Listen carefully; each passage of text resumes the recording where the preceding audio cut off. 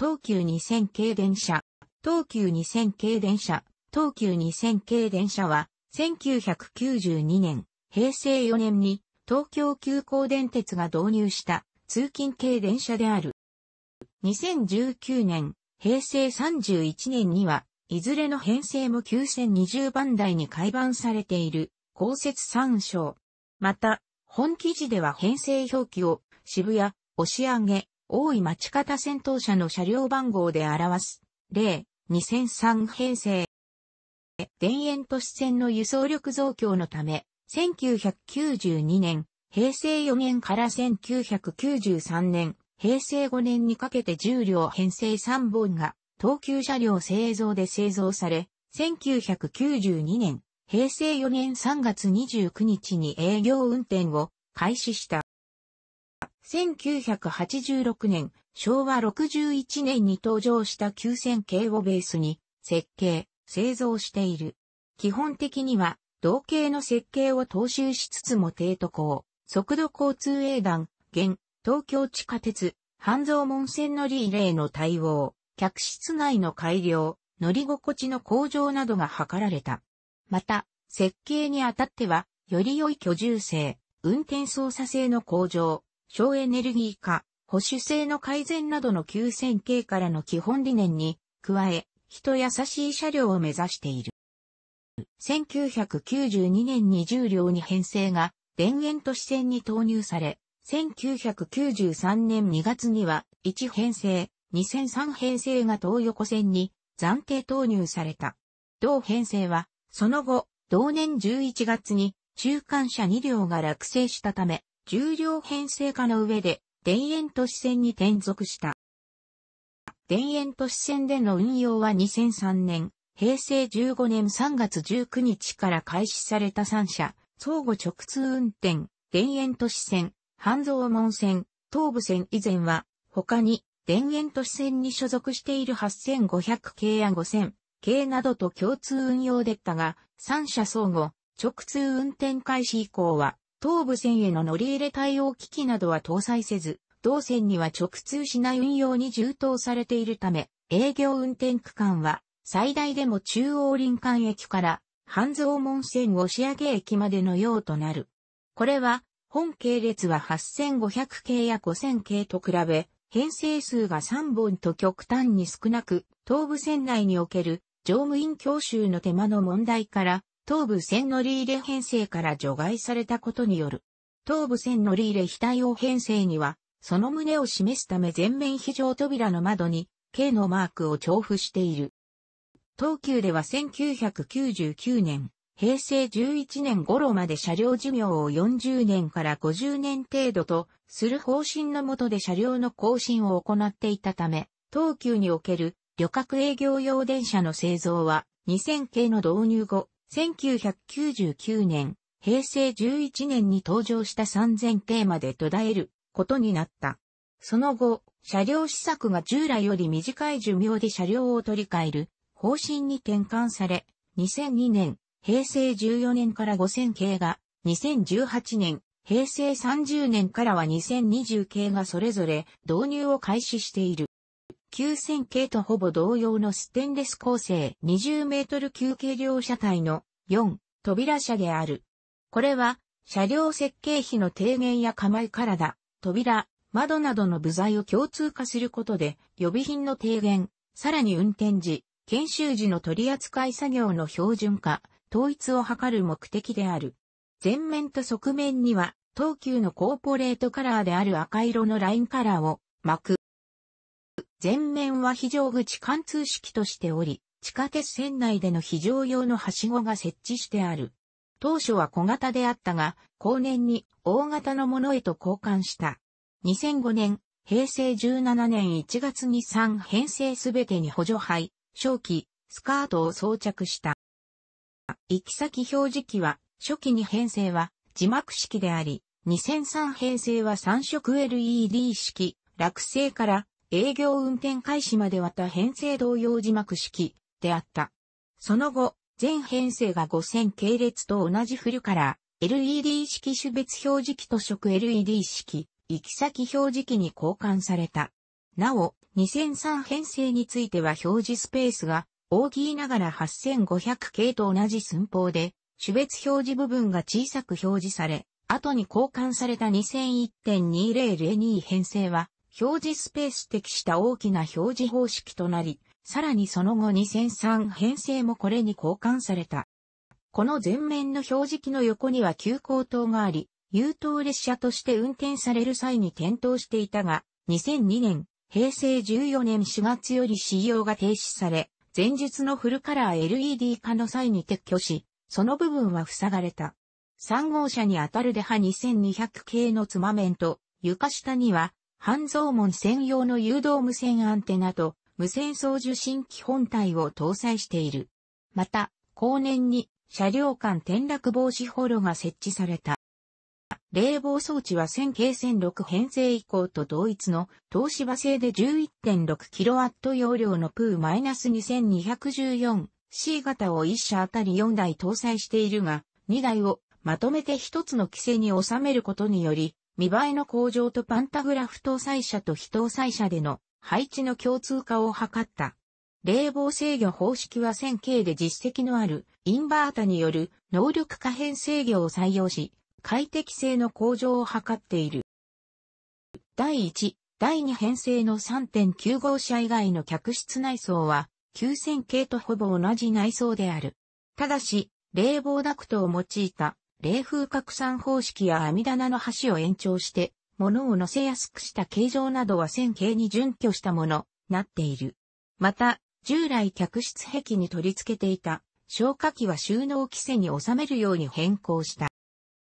客室はすべてロングシート、一人の掛け幅は 440mm 配置である。各社登り方に優先席がある。区派2000型は下り方。天井補助送風機を設置しているが、田園都市線の混雑に配慮して、先頭車に9台、中間車20台と9000系よりも台数が多くなっている。1992年製の一時車の3.9号車では、快適な空間づくりを目指して、在来各系列では見られなかったアイデアを試験的に施している。これは今後の通勤電車の内装のモデルケースとしての意味合いもある。これらの試みは2003編成で一部改良の上、全面的に採用した。なお、試作した座席モケットとカーテンは経年により汚れが目立つことが判明したため、後年に従来車と同じ無地のものへ交換された。座席部の縦握り棒は一時車では3号車、2201号と2202号、に仕切り上に立つ形態を、9号車、2401号と2402号には仕切り前に立つ形態を採用した。試行の結果、2003編成では、後者の形態が採用された。本系列で採用した花柄座席モケットや、スタンションポール、縦握り棒は、同時期に室内更新工事を実施していた7600系や8000系において採用された。また、2003編成は、東横線において8両で運用していた際、車椅子スペースは編成の3.7号車、座席モケットは渋谷方から奇数号車が花柄、玉数号車がストライプとされた。その後、田園都市線への転属の際、新たに増備されたサハ2703は、ストライプ、サハ2803が花柄となり、重量編成におけるモケットの順番が不規則となった。落成時から自動放送装置を搭載しているが、田園都市線だけでなく、乗り入れ先の半蔵門線でも自動放送を実施している。側面に車外スピーカーを搭載し、車掌の操作で当時の英断と同じ仕様の扉が閉まります。ご注意くださいという上高速進放送を流すことができる。2003年、平成15年10月から2004年、平成16年3月にかけて、側入り口の鴨居部に LED 式の二段式旅客案内表示機とドア開閉を予告する表示灯を千鳥配置で設置した。共にドアチャイム用のスピーカーを内蔵している。また、優先席の吊り革は、後年にオレンジ色で三角形のものに交換されている。乗務員室についても乗務員が取り扱う機器を統一するため、9000系と基本的に大きな変更はない。本系列では、左側の壁に、半蔵門専用の誘導無線の操縦脇がある。乗務員室内アイボリー色、運転台形基板は、艶消し茶色のカラースキームを採用している。主幹制御機は T 字系1ハンドルマスコン、デッドマン装置付けである。フロントガラスの日よけには、ロール式のカーテンが設置してある。また、後年に、非常扉部にもカーテンが追加された。乗務員室仕切りは、前面窓と同じ配置で仕切り窓が3枚あり、そのうち客室から見て、左側2枚の窓には、遮光膜を設置するが、遮光膜は一般的なロールアップ式ではなくアルミ製、板状のものである。車掌スイッチは当初は機械式であったが、2007年、平成19年に間接制御式、リレー式に交換された。GTO 素子を用いた日立製作所製 VVVF インバータ制御装置 VFHR-132 系を採用。1台の制御機で2両分8個のモーターを制御する 1C8M 制御方式である。主電動機は TKM-92 系化5形参照。誘導電動機、出力 170kW、端子電圧 1100V、電流 115A、周波数 64Hz、回転数 1860rpm である。ブレーキ装置は回生ブレーキを併用したアナログ指令式の全電気指令式空気ブレーキで ATG の連動式である。また、ブレーキ制御には遅れ、米制御を併用している。空気圧縮機は、レシプロ式低騒音系の HS-20 から1型を編成で4台搭載している。補助電源装置は、東芝製 GTO 素子を使用した179馬出力静止系インバータであり、編成で3台搭載している。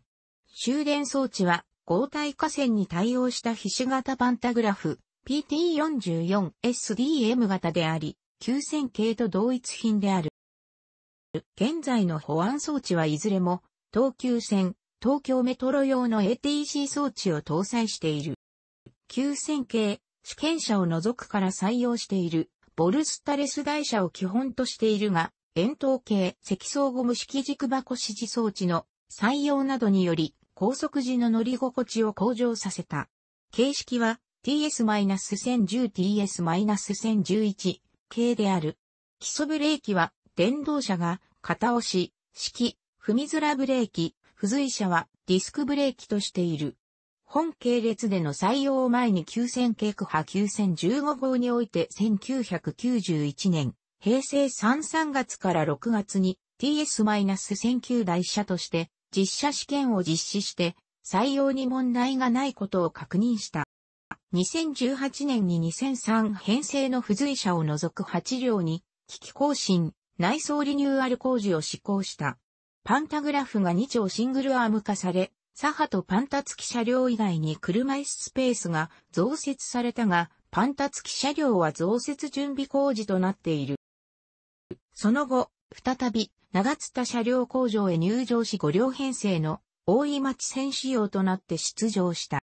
2018年中に7両が除籍廃車された。2019年2月11日に 2020R の3両と 2030R の2両を組み込んだ編成が大井町線で営業運転を開始した。これに際し、当該編成は9022編成となる。また、2003編成の2号車が、旧デハ2303から旧デハ2302に差し替えられ、会話を行い9023編成に変更。その後3月18日に抜いたデハ2303を入れた9021編成が出場した。これで全3編成が大井町線に出揃っている。また、本系列の形式名は9020系か9000系9020番台であるかについては、東急電鉄公式の本系列に関する車両、紹介は2019年9月時点で存在しないが、東急電鉄公式サイト内、